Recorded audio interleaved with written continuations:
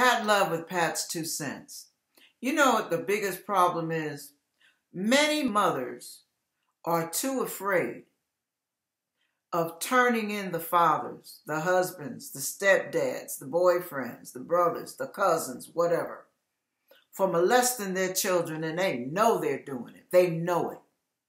And they won't report it. Why? Because that relative, family member, spouse, whatever, is taking care of them and their children.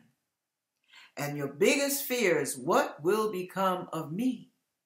Should I report this thing? What's going to happen to me? Well, here's my question to you, mom or pop. What's going to happen to your child if you don't report it?